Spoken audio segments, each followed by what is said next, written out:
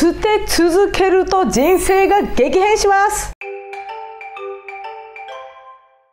はいこんにちは。ステカツで人生肯定のえつこです。本日もご視聴いただきありがとうございます。はいということでもう11月ねもう皆さんこれステカツシーズンじゃないですか。まあだけどねなかなか物が捨てられないっていう方もたくさんいるんですよ。でこれはもう仕方がないっていうところなんですけれどもこの捨て続けるっていうのをやっていただくだけでね本当にね人生がねどんどんね変化し始めるんですよね。これってすごい不思議やと思ってて実は私自身も物を手放すっていうのをやり続けてから人生がすごく変わったんですね。で私のコーチングのクライアントさんも皆さんそうなんですよ。だけど手放すっていうのって1回はできるじゃないですか、うん、なんかもう手放しましたみたいなね。だけどその後どんどん物ってまた溜まってくるじゃないですか。これ私たち生きてる限り物は増え続けるんですよね。だから手放し続けるっていうのがすごく大事になってきます。まあだけどねこう面倒くさいなとかもう明日にしようみたいな感じで私たちどうしてもね怠けてしまうんですね、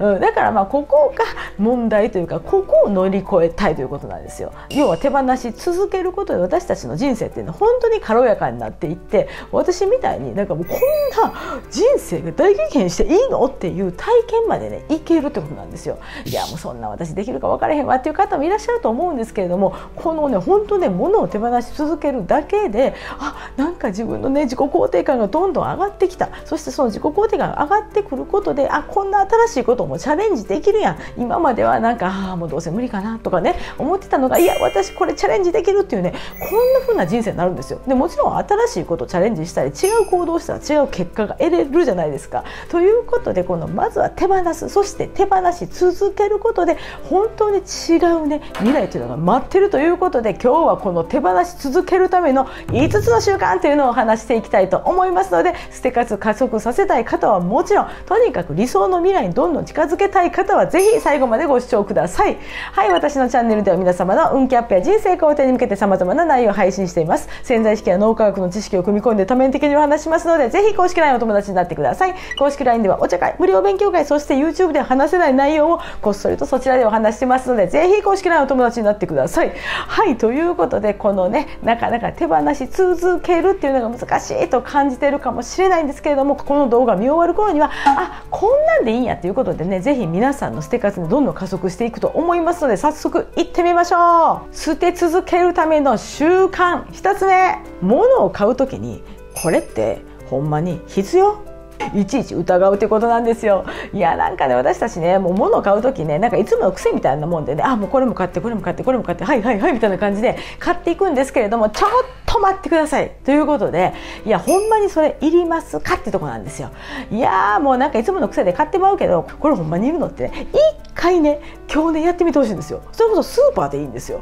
スーパーでほんまにこれいるんかみたいなねまだ在庫あったんちゃうんかみたいなねこん感じなんですよね。いちいち癖をつける。これね本当にね癖って何回もやってるとねそういうふうになるんですね。なんか結局習慣なわけですよね癖ってね。だからあこれほんまにいるかなほんまにいるかなっていうのを今日一日だけでもいいからまずやってみる。そしたらあこれいらんやんっていうことに気づくんですよ。そしたらそれだけでまずお金の節約になりますよね。で自分で気づけたっていうことは新たな習慣になるんですよね。でそうやってちょちょっとちょっとねこういったちっちゃい習慣が結局大きなねもうちりつもなわけですよ。ちりも積もればやるとなるということでどんどん変わっていくということでぜひね物を買う時にこれほんまに必要。この概念ぜひ持ってみてください。捨て続けるための習慣2つ目。これまだ好き？ってやつです。はいもう皆さん家の中ないですか？えなんかもういつものように置いてあるけどこれほんまにまだ好きかっていうことなんですよ。もうこれは洋服とかアクセサリーとかね。もうなんか置物でもねもう食器でも何でもいいんですよ。絶対あこれも好きじゃないかもって言いますね。ありますよ。いやだって私たちって日々進化成長してるんじゃないですか。でしてますよね。でしてたら絶対に物の好みとかその時の自分の感性って変わるんですよ。うん、だから私なんかは定期的に物の見直しってするんですよね。そしたらあこれはもう今の私じゃないかもっていうのがねやっぱり何個か見つかるんですよ。うん、だからこれまだ好きかなっていう目で見ていくっていうのをやるだけで絶対にお家の中から数点もしくは数十点ね出てくるはずなのでこれまだ好き。ぜひこの概念持ってみてください。手放し続けるための習慣3つ目。1週間に10分だけ物の見直しをする。はいもうなんかね見直しするってねもうなんかね家中やらなあかんから面倒くさいねんけどなみたいな感じになるじゃないですか。いやもう大丈夫大丈夫。10分だけで OK ということでじゃあ今日はクローゼットとかねあじゃあ今回は引き出しの中とかこんなんでいいんですよ、うん、ただ物の見直しを定期的にするっていうのがすごく大事でやっぱりね知らないうちに私たちって貯めていくんですよね、うん、だからさっきのこれまだ好きっていうのと一緒なんですよ、うん、だからあもうこれいらんかなとかあもうこれってシーズン終わったよなとかこんな感じになってくるんですよね。なんかこの定期的に1週間に1回10分だけだったらできますよね、うん、なんかそれこそ洗面台のこのなんかシンクの中だけとかそんなんでいいんですよ。特にね冷蔵庫の中とかやともう賞味期限切れてたりとかうわこのなんか作り置きまだあったとかねこんなんあるんですよね。なんかこれをちょっとでもいいから減らしていく。捨て続けるというのがすごく大事。結局これも癖。習慣になっていきますのでぜひ週に一度10分だけもの見直しやっていきましょう。そして捨て続けるための習慣4つ目。シーズンごとに物を見直す。もうこちらはもう鉄板ですよね。もうそれこそ洋服は一番分かりやすいじゃないですか。洋服ってシーズンがありますよね。なんか食器ってシーズンあんまないじゃないですか。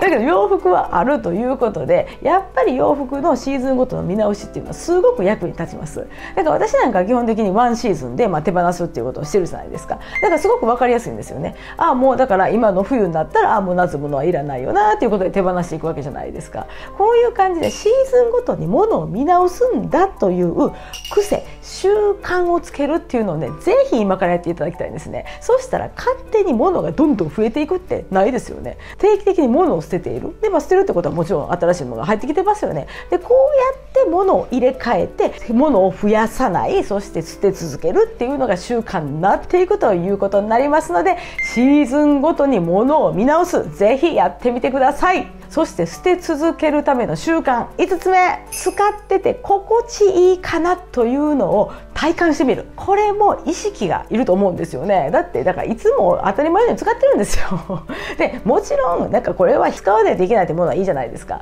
だけどこのなんか置いてある置物とかね。これほんまにいるんかいなみたいなやつがあるんですよ。でこれ誰かにもらったなんとかとかね。これほんまに必要みたいな。だけど私たちやっぱね知らんうちにねちょこちょこちょこねたまるんですよ。という私ももちろんたまるのでだから週に1回は物の見直しをするっていうのは絶対にやってますしそしてあこれ使ってて心地いいかな。今の私にはちょっと違うかなと思うものはもう潔く手放して新しいものを入れるっていうのをやっていくんですね。この心地いいか心地よくないかって私たちすごい大事だと思うんですよ。だって人生って、まあ、毎日時間の連続なわけですよね。その時間の連続の中で心地いいもの好きなものいやもうこんなん可愛いっていうものを使ってるってすごい幸せでしょ？ねでもそうじゃないなんかこれどうでもいいなんかね景品にもらったやつないんだけどなみたいな。そんなん使っててねいやもう私ってプリンセスとかね思えるわけがないってことなんですよ。だからあなたは景品女じゃないんだからまずはその景品でもらったやつをもう手放す。そしてご自身がお気に入りの